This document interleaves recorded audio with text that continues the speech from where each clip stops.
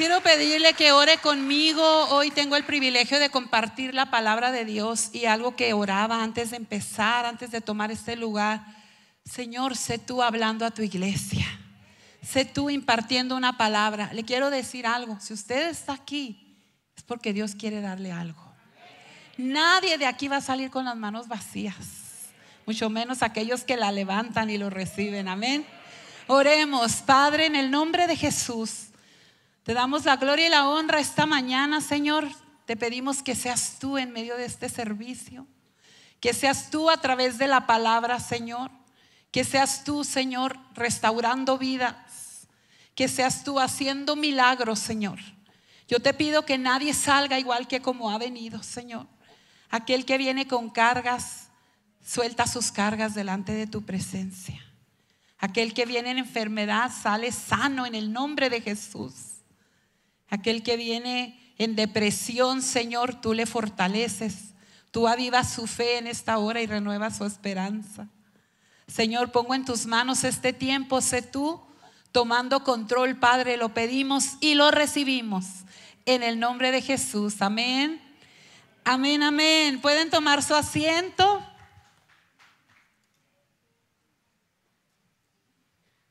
Hoy es el primer domingo del año, hermanos.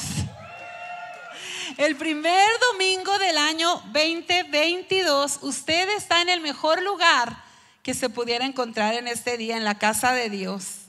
Y qué mejor que comenzar este año declarando esa promesa maravillosa que se encuentra en Salmos 23, versículo 1, que muy seguramente usted conoce de memoria, pero se, se titula Jehová es mi pastor.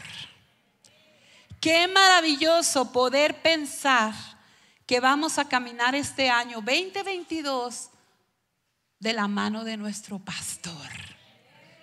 Y dice esta escritura, Jehová es mi pastor, nada me faltará. Qué oportuno, ¿no lo cree? Qué oportuno estar comenzando un año en el que podemos declarar, Jehová es mi pastor, nada me faltará. En lugares de delicados pastos me hará descansar, junto a aguas de reposo me pastoreará. Esa es la escritura, es el texto base de esta, reflexión, de esta enseñanza, hermanos, pero yo sé que Dios tiene algo importante que revelarle. Y para muchos sé que el inicio de un año representa muchas cosas. Muchas de las veces hacemos planes y propósitos, pero después de lo que hemos estado viviendo, creo que ya muchas de las veces ya como que no hacemos tantos planes y tantos propósitos, ya nada más estamos como expectando cómo Dios se va a mover en nuestra vida. Porque sabemos que el año trae cosas, que el año no viene vacío. Sabemos que el año viene con algo, pero yo quiero decirle, amado, en esta hora estoy aquí para recordarle, este año 2022, Dios mismo te va a pastorear. Él mismo va a estar allí para guardarte, porque hay que entender las funciones del pastor. El pastor guarda, el pastor guía, el pastor apacienta las ovejas. Yo estoy aquí para decirte, Dios te va a guardar, Él te va a pastorear. Si tú permites que Él sea tu pastor en este año, te puedo garantizar una cosa, Él va a cuidar de ti. Él va a cuidar de ti, Él te va a guardar. Salmos 23, versículo 4 dice, aunque ande en valle de sombra de muerte, no temeré mal alguno yo no sé si está despierto, pero yo digo que con esa palabra tuviéramos. No temeré mal alguno porque tú estarás conmigo. Tu vara y tu callado me infundirán aliento. Venga lo que venga, amados. Traiga lo que traiga el 2022. Usted tiene que caminar seguro, usted tiene que caminar sin temor. Se pronostican situaciones difíciles en el área de las finanzas, se pronostican situaciones difíciles en el área de la enfermedad. Pero, amado, tú y yo que hoy estamos escuchando esto, también se pronostica que vamos a vivir un año diferente. Yo pronostico que vamos a vivir un año sin temor, un año confiando en Dios, en dependencia de Él. Él cuidará de ti. Escúchame, amado. Tal vez solo estoy aquí en este lugar para decirte, Él cuidará de ti. Anita, pero el COVID y el Omicron y las mutantes, ¿sabe lo que Dios me decía? Mira, ustedes no se preocupen. Así como mutan las enfermedades, los hijos de Dios también están mutando constantemente. Porque mutar se refiere a un cambio. Y tú y yo hemos de cambiar de ser personas que caminábamos en temor a, cambiar. Vamos a mutar a personas que caminan sin temor de ser personas que se intimidaban por las noticias, ahora vamos a ser aquellos que intimidan, que intimidan al enemigo. Tiene que haber un cambio aquí, tiene que haber una mutación también en el pueblo de Dios. También nosotros, no solo tú, COVID, cambias. Si es necesario, cambiamos y empezamos a mutar y empezamos a hablar diferente y empezamos a derribar el temor. ¿Cuántos de ustedes no pueden decir junto conmigo, yo ya me cansé? Algunos dicen, ay, esta máscara me tiene. y la usamos por sometimiento, por prudencia. Pero ¿qué le pareciera que el pueblo de Dios, y no solo esta iglesia, todas las iglesias nos propusiéramos pararnos encima del COVID, del Omicron y decir, en el nombre de Jesús tenemos el poder para vencer. Dios cuida de ti. Este año 2022 Jehová será tu pastor. Y un pastor cuida. Un pastor cuida. Recientemente sabemos que sucedió una cuestión de unos incendios en algunas ciudades aquí de Colorado. Casi creo que todos supimos, ¿sabe? Levante la mano el que no supo.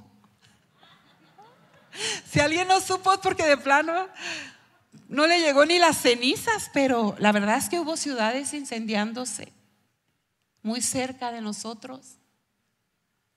Yo te quiero decir algo, porque te lo acabo de decir. Jehová es tu pastor. Venga lo que venga, así sea un incendio. Dice Isaías 43, 2, cuando pases por las aguas, yo estaré contigo. Y si por los ríos, no te anegarán. Cuando pases por el fuego, no te quemarás, ni la llama arderá en ti. Tremenda palabra. Isaías 43, 2 son palabras que usted debe anotar y aprendérselas de memoria. Y si un día le toca estar en medio de algo así, usted se va a acordar y va a decir, Jehová es mi pastor.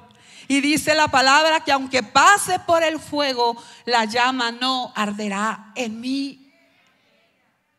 Estamos hablando del mismo Dios que en una ocasión guardó a tres hombres que fueron echados a un horno de fuego.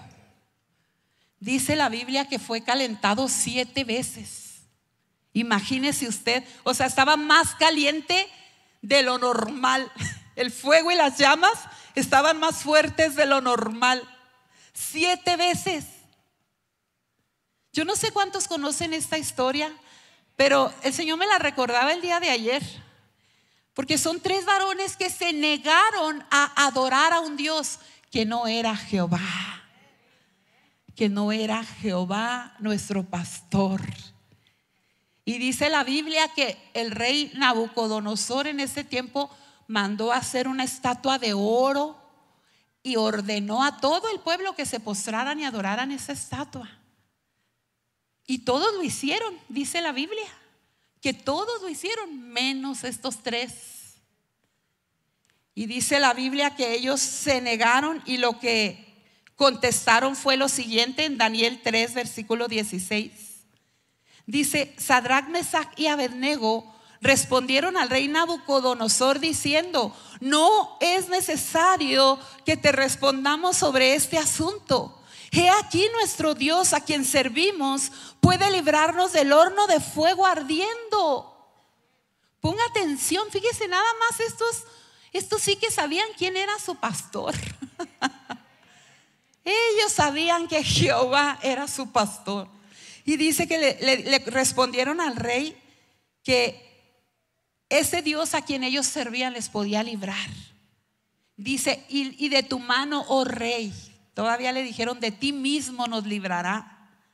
Y el versículo 18 dice, y si no, sepas, oh rey, que no serviremos a tus dioses, ni tampoco adoraremos la estatua que has levantado. Entonces Nabucodonosor se llenó de ira y se demudó el aspecto de su rostro contra Sadrach, Mesach y Abednego y ordenó que el horno se calentase siete veces más de lo acostumbrado. Y mandó a hombres muy vigorosos que tenía en su ejército que atasen a Sadrach, Mesach y Abednego para echarlos en el horno de fuego ardiendo. Dice la escritura, hermanos, que esos que llevaron a estos tres se quemaron.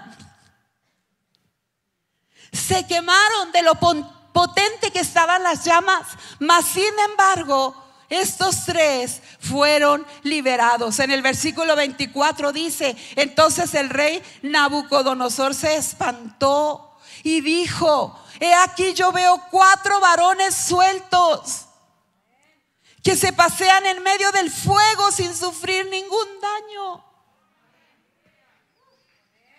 Mano, no le estoy contando una película le estoy contando un suceso bíblico que no recuerda cuán grande es el poder de aquel que te va a cuidar este año.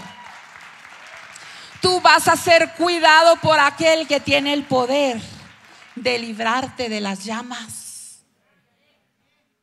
Y sí, ciertamente el rey dijo, yo veo cuatro, no veo tres. Y dice que el cuarto es semejante al Hijo de los Dioses, fue lo que el rey expresó.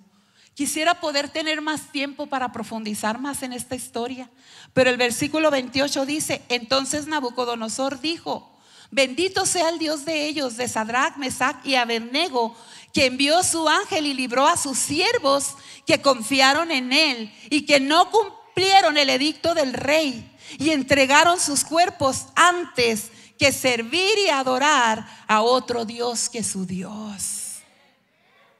Hay que ponernos bien listos este año, hermanos. Este año tu Dios tiene que ser Jehová de los ejércitos. Tú tienes que asegurarte de que este año caminas tomado de la mano de Él. Tú tienes que asegurarte de que ese que te pastorea ocupa el primer lugar en tu corazón. No solo Dios te va a cuidar en este año, también te va a guiar. Yo no sé si en alguna ocasión le haya pasado que de repente no sabe qué hacer, de repente no sabe qué decisión tomar, de repente no sabe por dónde ir. Yo le digo en esta hora, un pastor guía y Jehová es mi pastor. Por lo tanto, tú tienes que confiar que Él te va a guiar en este año. Si hay decisiones que tomar, Él te va a guiar para que tomes las mejores decisiones. Ay, Ana, eso me viene, pero bien. Este año tengo que decidir si me caso o no. Este año tengo que decidir si vendo mi casa o no, si compro mi casa o no, si abro el negocio o no. Este año tengo que tomar serias decisiones. Gloria a Dios porque Jehová es mi pastor y Él me guiará en el nombre de Jesús. Hoy declaro esta palabra sobre ti. No más errores. No más errores. Dice Salmos 37, 23, el Señor dirige los pasos del hombre. El Señor dirige los pasos del hombre y lo pone en el camino que a Él le agrada. Y dice el versículo 24, aun cuando caiga, no quedará caído porque el Señor lo tiene de la mano. Amado, nos conviene, amado, te conviene, te conviene, amada, que quien te lleve de la mano este año sea Jehová tu pastor. Porque no solo te va a guiar por donde tienes que ir, pero te lleva agarradito de la mano por si tropiezas, gloria a Dios. Te lleva agarradito de la mano por si tropiezas. Proverbios 3, versículo 5 dice, fíate de Jehová de todo tu corazón y no te apoyes en tu propia prudencia. ¿Cuántas veces no hacemos eso, amados? ¿Cuántas veces como que le pedimos a Dios una confirmación? Pero ya cuando tomamos la decisión, ya cuando hicimos las cosas, yo creo que tenemos que arrepentirnos de eso, ¿verdad? Y aprender. Aprender, no te apoyes en tu propia prudencia. En quien debes de confiar es en Él. De quien debes depender es de Él. Quien te debe guiar es Él. Dice el versículo 6 en Proverbios 3, reconócelo en todos tus caminos y Él enderezará tus veredas. Él se va a asegurar de que vayas por el camino correcto. Y si te fueras por un camino equivocado, Él te va a enderezar y Él te va a llevar por el camino. ¿No se gozan por eso? Un año 2022 más relax ay, yo siento un descanso. Cuando yo pienso que Él es el que va a tomar las decisiones y no yo, yo siento un descanso. Amado, porque el sabio es Él. El que no se equivoca es Él. Amén. Pero así como pastor que, que, te va a cuidar y te va a guiar, también te va a apacentar. ¿Cuántos aquí son, son ovejas de Jehová. Y Jehová nos apacenta. Dice que Jehová apacenta sus ovejas. Y yo me fui a investigar un poquito sobre esta palabra y se refiere a dar pasto a las ovejas, alimentarlas. Amado, Recibe esta buena noticia en esta mañana. Dios te va a proveer para todas tus necesidades. Por supuesto, con Jehová como pastor, ¿qué te puede faltar? Nada te faltará. Él te va a proveer. Salmos 37, 25 dice lo siguiente. Joven fui y he envejecido y no he visto justo desamparado ni su descendencia que mendigue pan. Oiga, un David diciendo, han pasado los años y jamás me ha tocado ver alguien que tenga a Dios como pastor que le falte algo ni a él, ni a su descendencia, ni a sus hijos, ni a sus hijos, ni a los hijos de sus hijos. Oiga, porque tu descendencia son todas tus generaciones que vienen después de ti. Y aquí dice descendencia. Y además hay una palabra que nos confirma, en donde dice que cuando la bendición de Dios te alcanza, alcanza hasta mil generaciones debajo de ti. Por lo tanto, tú puedes confiar que tus generaciones van a ser bendecidas por Jehová, tu pastor. ¿Cuántos pueden decir en esta hora, Jehová es mi pastor? Nada me faltará. Él cuida de mí, Él me guía y Él provee para todas mis necesidades. Tú puedes comenzar el año con el pie derecho. Tú puedes saliendo de aquí o antes de salir, sacudirte todo temor, toda inseguridad, toda incertidumbre. Para el Hijo de Dios no hay incertidumbre, lo que hay es fe. No conocemos el futuro, no sabemos lo que viene ni cómo se va a presentar, pero sí sabemos que mientras Jehová sea mi pastor, nada, nada, nada, nada me faltará. Es un estilo de vida la traducción al lenguaje actual del Salmo 37 dice, ni antes cuando era joven, ni ahora que ya soy viejo, he visto jamás gente honrada viviendo en la miseria, ni tampoco que sus hijos anden pidiendo pan.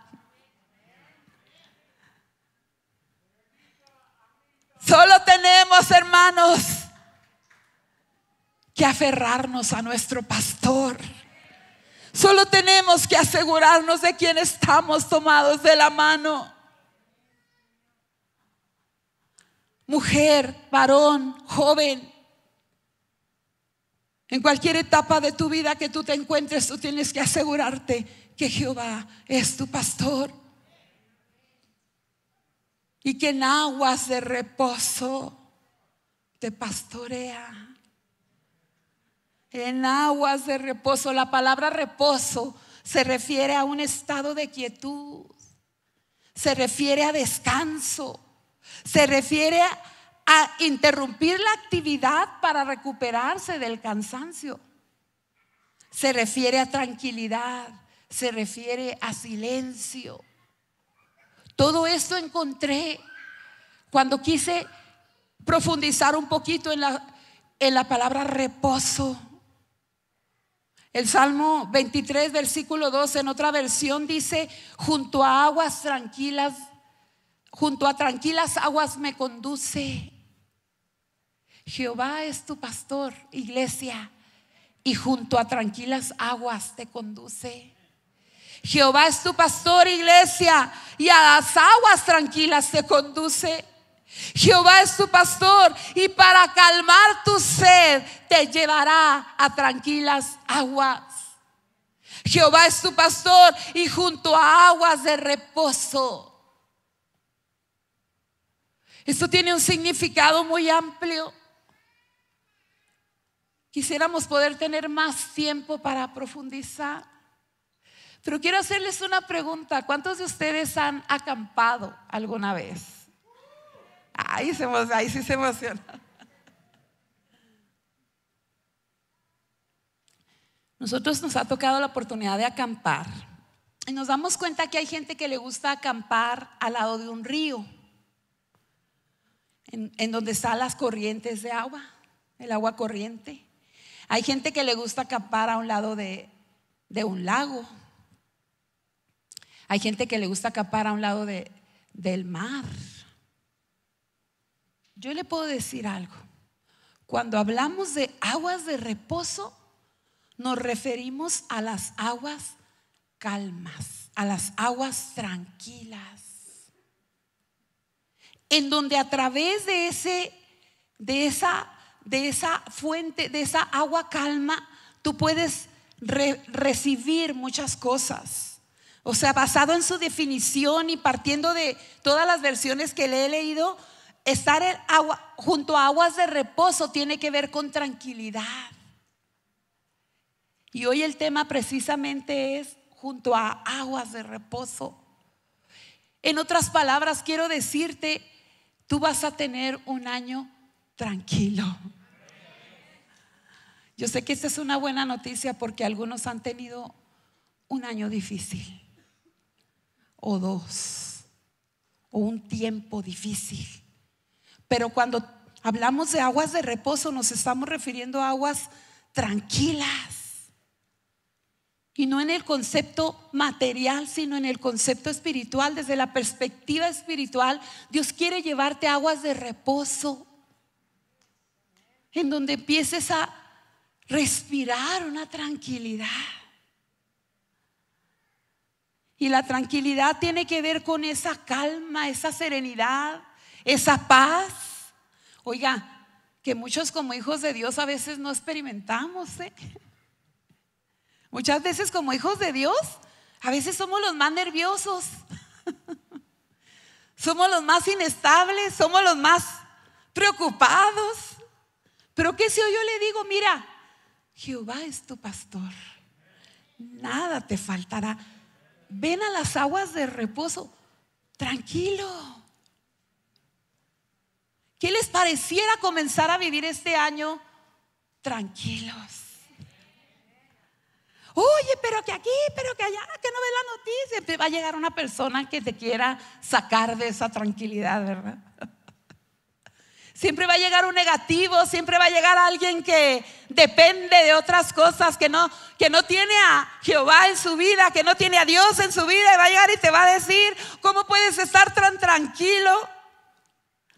¿Cómo puedes hablarme de fe? ¿Cómo puedes creer que todo va a estar bien? No estás viendo la catástrofe. Y tú vas a decir, es que yo me encuentro junto a aguas de reposo. Si puedo estar tranquilo, si puedes estar tranquilo, si puedes estar tranquila. Yo, yo le quiero decir algo respecto a la tranquilidad. La tranquilidad trae un sosiego, trae una calma. Es, es un valor. ¿Sabe que usted tiene que aprender a, a vivir en tranquilidad? Eso se ha perdido en estos tiempos. Vivimos en un ritmo muy acelerado. Y se levanta uno a correr para el trabajo y regresa y el correr y el correr para acá, para allá. Y hace no sé cuántos se identifican con este ritmo de vida. Pero llega un momento en que no tenemos a veces tranquilidad en todo un día. Y yo le quiero decir que las aguas de reposo traen tranquilidad. Es una de las cosas. También las aguas de reposo traen plenitud. Y tiene mucho sentido. Porque una persona que está junto a aguas de reposo, donde está la presencia de Dios, donde está Jehová tu pastor que cuida de ti, definitivamente tú puedes encontrar una plenitud que fuera de ese lugar no puedes. ¿Sabe que la palabra plenitud significa el mejor estado de algo? Que si hoy yo le dijera que Dios quiere llevarte a vivir en tu mejor estado, el mejor estado, una vida plena, una vida en plenitud es lo mejor que tú puedes estar. Es lo mejor que tú puedes, pero no lo vas a encontrar lejos de las aguas de reposo que da la presencia de Dios. No lo vas a encontrar lejos de las aguas de reposo en donde Jehová tu pastor te quiere tener. Y hay muchas otras cosas.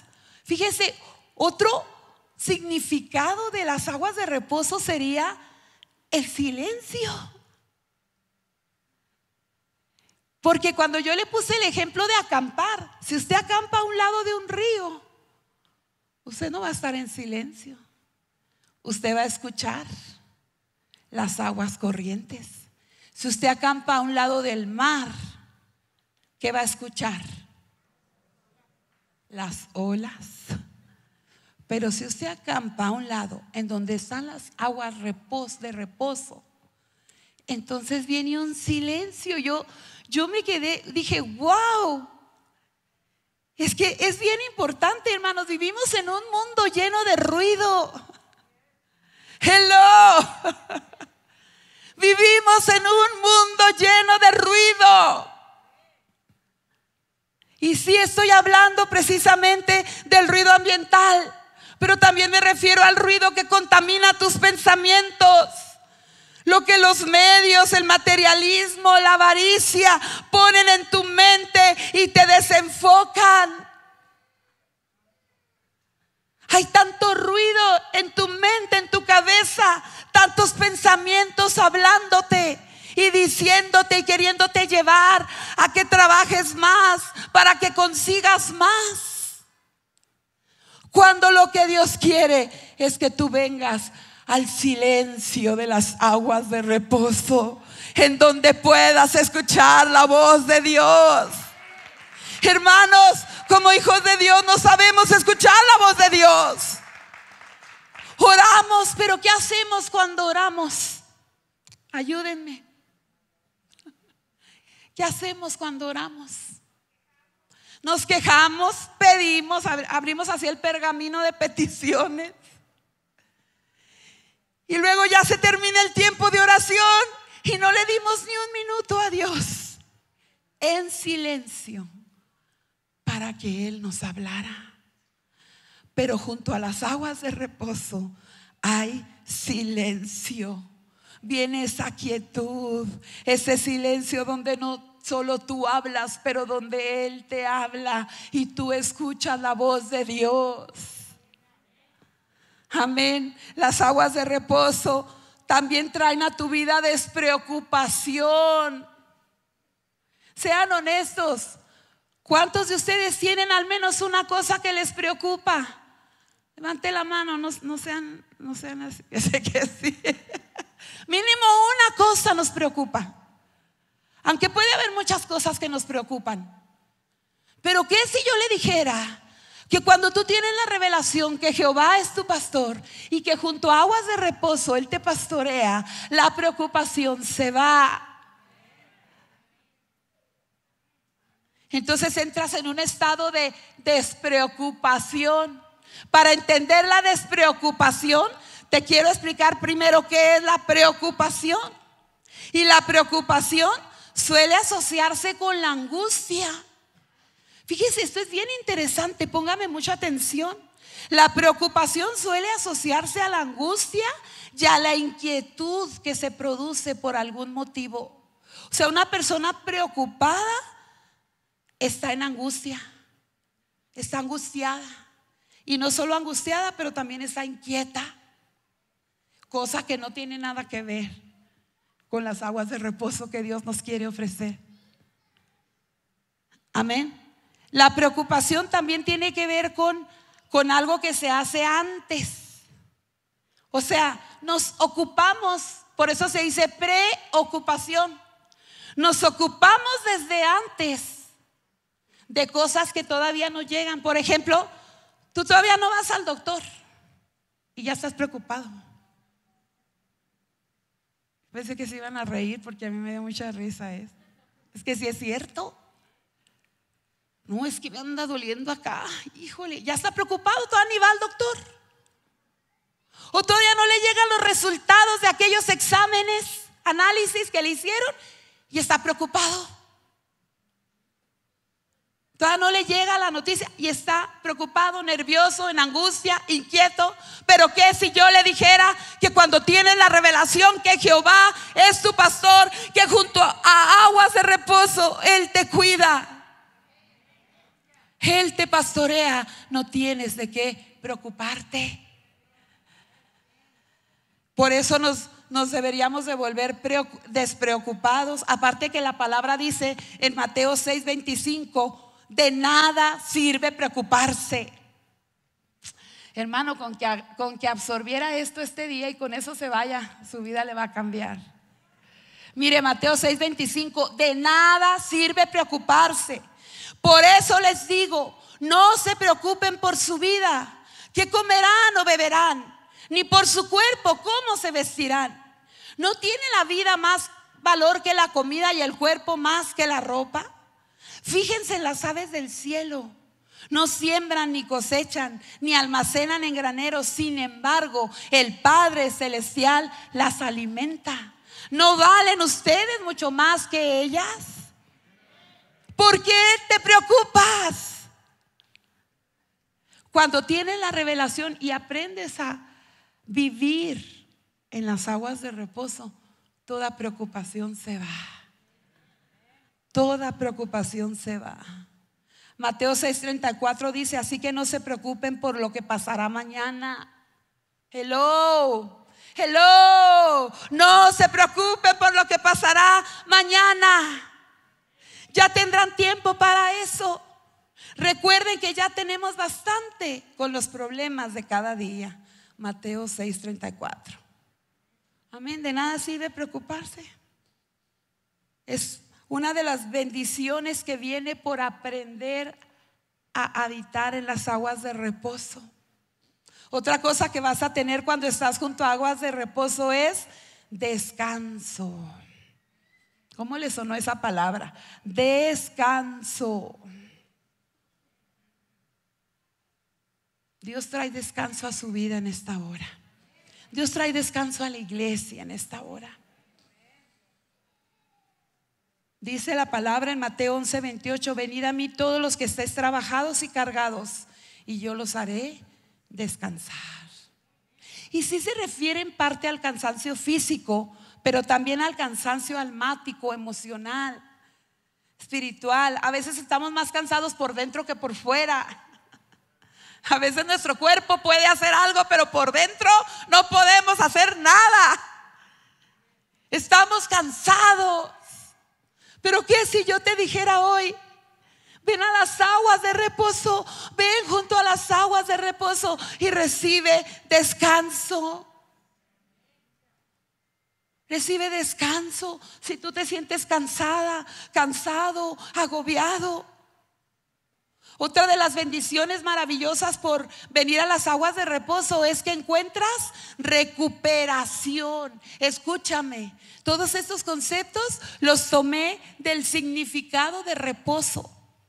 Y estamos hablando de venir a vivir junto a las aguas de reposo. Pero viene una recuperación que significa dos cosas. Por un lado, recuperar o que vuelva a ti algo que era tuyo y que habías perdido. Eso es recuperar. Pero también una persona vuelve a un estado en el que, en el que estaba y, y, lo había perdido por alguna razón. O sea, hay dos formas de recuperación. Te lo voy a explicar de otra forma. Cuando tú vienes a las aguas de reposo, recuperas lo que el enemigo te arrebató. Escúchame, ¿por qué, Ana? ¿Por qué? ¿A qué te refieres? Porque en las aguas de reposo está la presencia de Dios. Porque en las aguas de reposo estás al lado de tu pastor. Jehová es tu pastor y Él le va a quitar al enemigo todo lo que te había arrebatado. Escúchame, si en algún momento viste perder tu matrimonio, hoy en el nombre de Jesús yo te digo, hay esperanza, tú lo recuperas. Tú lo puedes recuperar porque vas a venir a las aguas de reposo, vas a venir a habitar, vas a venir a acampar junto a las aguas de reposo. En donde está la presencia de Dios y recuperas tu matrimonio. Si a ti el enemigo te ha arrebatado a un hijo y tú lo ves en las drogas, en la rebeldía, metiéndose de problema en problema. Hoy te digo en el nombre de Jesús, tú vas a recuperar a tus hijos. Recuperas a tus hijos. Porque tus hijos ya le pertenecen a Dios. Dice la palabra, cree en el Señor Jesucristo y serán salvos tú y toda tu casa. ¿Hay alguien aquí que ha creído? Por favor, testifique. ¿Hay alguien aquí que ha creído? Si usted ha creído, entonces el paquete es completo. Toda su familia, dice la palabra, será salva. Toda su familia será salva. Es promesa de Dios. Este año recuperas a tu familia. Este año recuperas a tus hijos. Este año recuperas todo lo que el enemigo te haya arrebatado.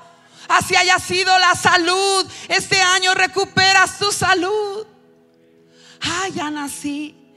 Es que he estado batallando tanto. Vieras. Y que las rodillas y que... Le digo algo. Yo me compadezco de las personas enfermas. Pero hay alguien que más allá de la compasión tiene el poder. Tiene el poder para sanar. Solo ven junto a las aguas de reposo. Solo busca aquel que te quiere pastorear. Vas a recuperar la salud vas a recuperar ese negocio. Alguien aquí, Dios me está poniendo esto, yo no lo traigo en mis notas, alguien perdió un negocio, yo te digo, lo vas a recuperar, porque Jehová es tu pastor, de eso se encarga Él, de eso se encarga Él, pero además este año tú te recuperas. Mire, yo le hablé acerca de recuperar algo que perdiste, pero ahora quiero hablarte de que tú vas a recuperarte tú, porque muchas veces Muchas veces caemos en cosas que ya habíamos superado. Muchas veces el enemigo nos vence, la tentación nos vence. Si tú caíste en alguna tentación, quizás te estás sintiendo indigno. Pero hoy te digo, inicias este año con la mirada en alto, porque Jehová, tu pastor, te apacienta junto a aguas de reposo y tú te recuperas. Tú puedes recuperarte de esa caída. Dice la palabra en Proverbios 24, 16, porque siete veces cae el justo y vuelve a levantarse. Yo puedo sentir a una persona aquí con desesperanza. Siente como que no tiene motivación para su vida, como que no le ha encontrado propósito o sentido a su vida. Pero yo te digo en esta hora, tú vas a tú vas a recuperarte tú te vas a recuperar. Dice la traducción al lenguaje actual, no importa cuántas veces caiga, siempre se levantará. Siempre se levantará.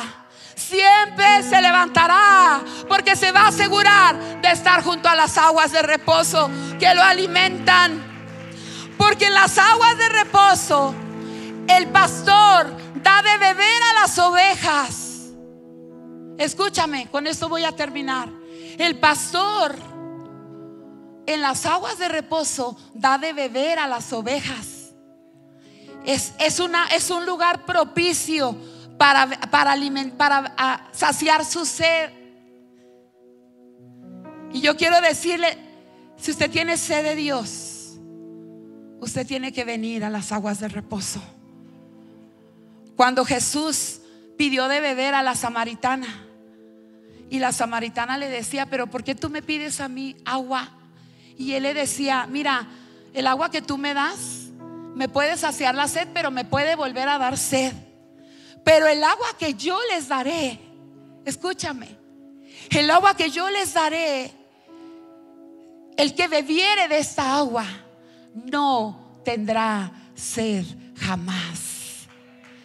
Cuando tú te acercas a las aguas correctas, cuando tú vienes a la fuente correcta, no tendrás sed jamás. Las aguas de reposo son aguas vivas. Es Jesús mismo. Es la presencia de Dios. Es el Espíritu Santo. Por eso Jesús dijo, ven y bebe de esta agua y verás, jamás volverás a tener sed. Amén. Él va a suplir toda tu necesidad. Él va a saciar tu sed, toda tu sed espiritual, todos aquellos vacíos, todos aquellos huecos que has querido llenar con cosas materiales, con cosas del mundo. Él te dice, solamente dale paso, solamente dame paso. Y yo voy a llenar tu vida. Pero algo más, hermanos, hermoso que encontré es que el pastor de ovejas busca aguas de reposo para darles de beber, pero también para sanar sus heridas, para curarlas. Si tú vienes hoy a las aguas de reposo, Él va a curar tus heridas. Él te va a curar, Él va a lavar tus heridas y te va a curar.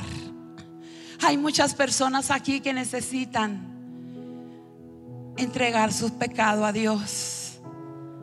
Traen heridas por consecuencia de su pecado. Pero dice Zacarías 13:1, en aquel día, y yo quiero declarar que ese día es hoy, hermanos, en aquel día se abrirá una fuente para lavar el pecado, para lavar del pecado y de la impureza a la casa real de David. Hoy Dios quiere lavarte para que comiences bien el año. Quiere lavarte de toda impureza, quiere lavarte de todo pecado, quiere quitar de tu vida todo lo que está estorbando porque Él te quiere bendecir. Jehová es tu pastor. Jehová es tu pastor, nada te faltará junto a aguas de reposo. Él te pastoreará. Pero tiene que comenzar con una decisión. ¿Por qué no tomas hoy la decisión? ¿Qué te parece vivir un año diferente? ¿Qué te parece vivir un año diferente? Yo pregunto, ¿cuántos quisieran vivir un año diferente, un año mejor? Tiene que tomar la decisión de venir a Dios y decirle, Jehová, sé mi pastor. Sé mi pastor. Si usted nunca le ha abierto su corazón a Cristo, este puede ser el momento. Sé que hay gente que nos visita por primera vez, yo no les conozco, pero a lo mejor estás aquí solamente para eso, para que rindas tu vida a Cristo y comiences a dejar que Él te pastoree y empieces a recibir todas las bendiciones y todos los beneficios de estar junto a las aguas de reposo. Yo quisiera invitarles a ponerse de pie, por favor. Pónganse de pie todos, todos. Y si alguno de ustedes nunca, nunca ha recibido a Jesús en su corazón, haga esta oración, por favor. Dígale, Señor Jesús, hoy te recibo en mi corazón. Sé mi Señor, sé mi Salvador. Yo te recibo como mi Salvador en esta hora. Quiero que seas mi pastor. Quiero que me cuides. Quiero que me guíes. Quiero que suplas toda mi necesidad. Quiero aprender a habitar en aguas de reposo. Junto a aguas de reposo. En donde venga la tranquilidad, el sosiego, la calma, la paz, la despreocupación. En el nombre de Jesús. Si usted ha hecho esta oración por primera vez, hoy le felicito. Usted ha recibido a Jesús, ahora usted es parte de la familia de Dios va a comenzar a ver sus bendiciones. Pero quiero orar también por todos aquellos que, por todos aquellos que se han alejado.